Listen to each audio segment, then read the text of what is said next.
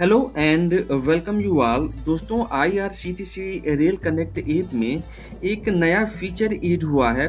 जैसा कि आप स्क्रीन पे देख सकते हैं चेंज योर बोर्डिंग स्टेशन तो आप इस फीचर का यूज़ करके जहाँ पर आपको वेटिंग टिकट मिल रहा है, आप उस वेटिंग टिकट के स्थान पे कम वेटिंग वाला या आरएसी वाला या कंफर्म टिकट बुक कर सकते हैं।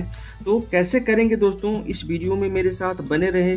मैं आपको लाइव कंप्लीट जानकारी दूँगा। तो चलिए दोस्तों, वीडियो शुरू कर लेते हैं।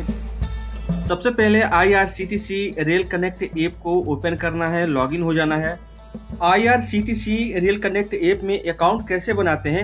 इस पर मैंने एक ऑलरेडी वीडियो बना रखा है। लिंक डिस्क्रिप्शन में है। आप उसको जा करके चेक कर सकते हैं। अगर आप आईआरसीटीसी ऐप में बुकिंग करना नहीं जानते हैं पेमेंट करना नहीं जानते हैं तो सब कुछ आपको इस वीडियो में मिल जाएगा। आप यहाँ पर जा करके देख सकते हैं। अब दोस्तों, हम वीडियो में आगे बढ़ते हैं। I R C T C rail connect app में लॉगिन होने के लिए आपको यहाँ दाहिने तरफ़ ऊपर कोने में लॉगिन पे क्लिक करना है। उसके बाद से पासवर्ड और कैप्चा डालने के बाद से आप लॉगिन पे क्लिक कर देंगे लॉगिन हो जाएँगे। अब आप यहाँ टिकट बुक करने के लिए आप रेडी हैं। सबसे पहले आपको यहाँ ट्रेन पे क्लिक करना है। ट्रेन पे क्लिक करने के बाद से यहीं पे आपको एक ऑप्शन दिखेगा बुक टिकट पे। आपको बुक टिकट पे क्लिक कर देना है। अब आप यहाँ देख सकते हैं फ्राम का ऑप्शन है तो आप इस सेक्शन में क्लिक करेंगे और क्लिक करने के बाद से आप जिस स्टेशन से यात्रा करने वाले हैं, उस स्टेशन का नाम यहाँ पे टाइप करेंगे, नीचे सजेशन में आ जाएगा। आप यहाँ से सिलेक्ट कर लेंगे। उसके बाद से आप देख सकते हैं यहाँ टू का ऑप्शन है। आप यहाँ टू वाले ऑप्शन पे क्लिक करेंगे। क्लिक करने के बाद से आप सबसे ऊपर यहाँ पे अपने स्टेशन का नाम टाइप करेंगे। नीचे सजेशन में आ जाएगा। आप यहाँ से सिलेक्ट कर लेंगे। अब आप यहाँ देख सकते हैं कैलेंडर का निशान है। आप यहाँ पे क्लिक करेंगे और क्लिक करने के बाद से आप जिस तारीख में यात्रा करने वाले हैं, वो डेट सिलेक्ट कर लेंगे। इतना करने के बाद से आप यहाँ सर्च पे क्लिक कर देंगे। अब उस रूट में जितनी भी ट्रेनें होंगी, आपके सामने आ जाएँगी। अब आप जिस ट्रेन में टिकट बुक करना चाहते हैं, उसके नीचे देख सकते हैं sleeper, third AC, second AC यहाँ पे लिखा हुआ है। तो आप जिस क्लास में टिकट बुक करना चाहते हैं, आप वहाँ पे क्लिक कर देंगे। जैसे मुझे स्लीपर क्लास में टिकट बुक करना है तो मैं यहाँ स्लीपर पे क्लिक कर दे रहा हूँ। तो आप यहाँ पे देख सकते हैं कि यहाँ पर ट्वेंटी वेटिंग दिखा रहा है।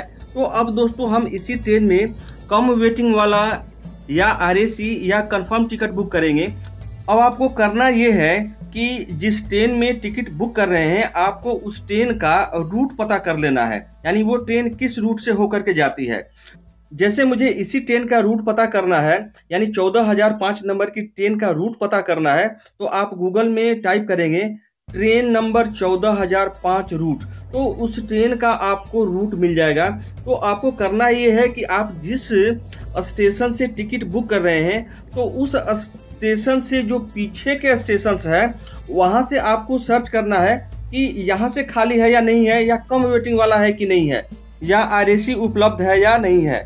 तो दोस्तों, जैसे मैं भाटनी से दिल्ली के लिए सर्च कर रहा हूँ तो वेटिंग मिल रहा है। तो अब मैं क्या करूँगा कि जो भटनी के पहले स्टेशन है, मैं वहाँ से दिल्ली के लिए सर्च करूँगा।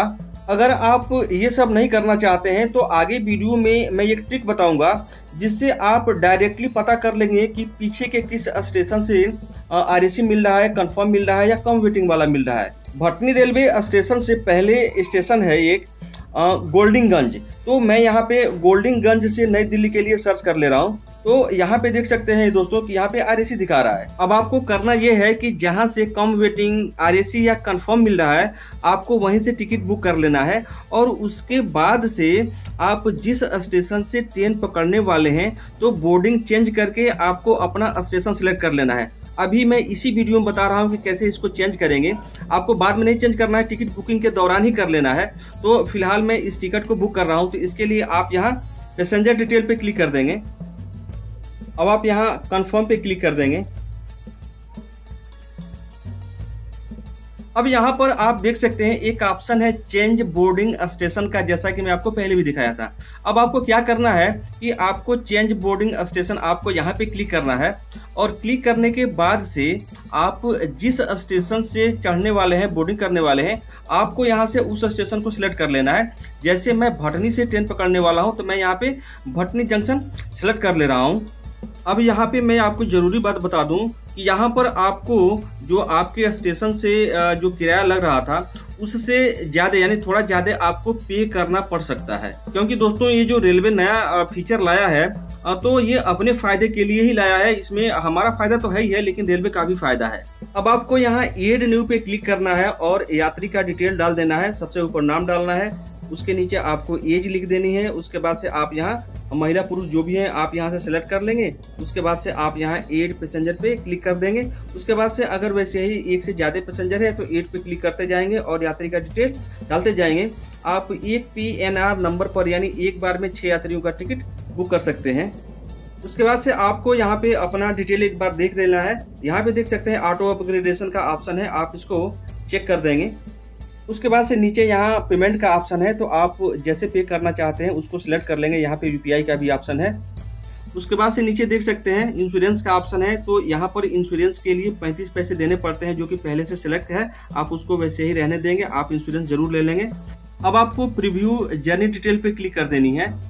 अब आप यहाँ पे देख सकते हैं कि टिकट हम गोल्डिंगगंज से बुक कर रहे हैं। जबकि यहाँ बोर्डिंग स्टेशन में भटनी जंक्शन दिखा रहा है। यानी हम भटनी जंक्शन से बोर्डिंग कर सकते हैं, यानी ट्रेन पर चढ़ सकते हैं।